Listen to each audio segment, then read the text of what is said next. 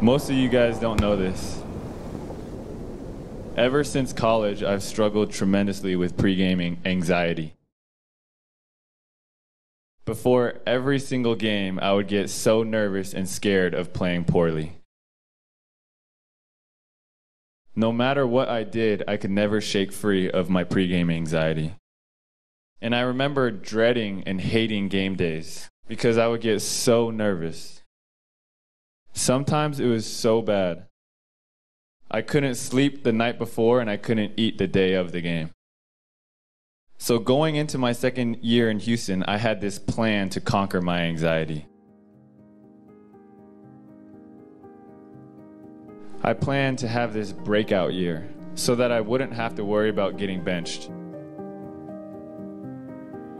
So that I wouldn't have to live underneath the shadow of Linsanity. And I felt like if I could do that, that would get rid of my anxiety. But my plan was immediately in jeopardy, and I was overwhelmed with anxiety once I realized I might not start. So I got on my knees and I cried out to God. I said, Lord, please, please help me. I said, I can't go through another miserable season again. And I don't have the strength to get through it, so please help me. And what happened over the next two weeks was incredible.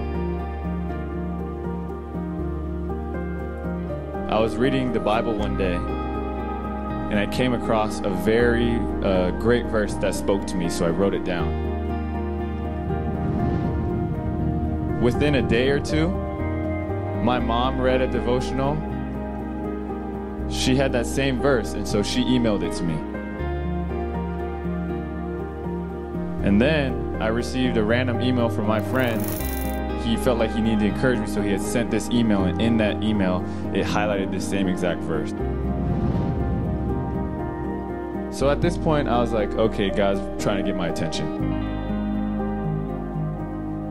Then it started to get really spooky. I was surfing the web, and randomly there came up a picture, and on that picture was a verse written in it. My friend, who I had not spoken to in about a year, he had just randomly sent me a text message.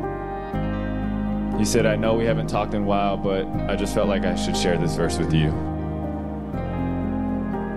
Then I was cleaning out my, my apartment and I found a necklace.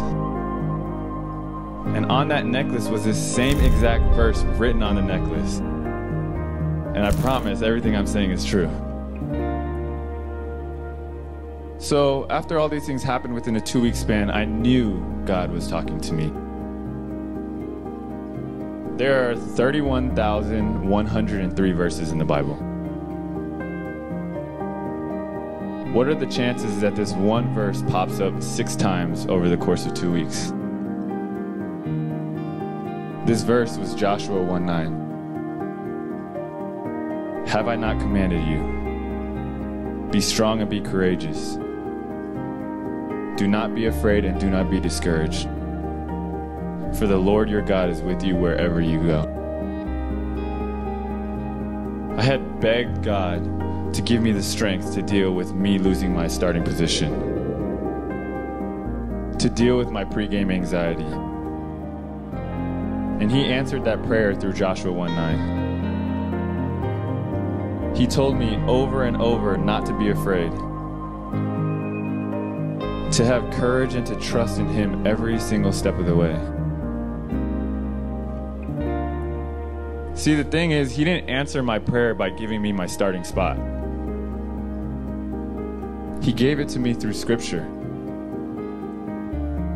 So, right before our first game of the season, when they told me that I had lost my starting position, I still had tremendous peace.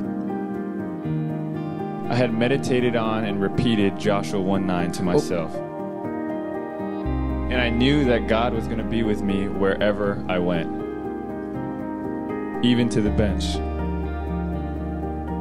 And you know what the best part about coming off the bench was?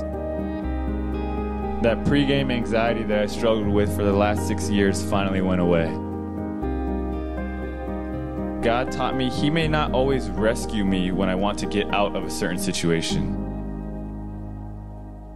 But He is always with me as I walk through that situation.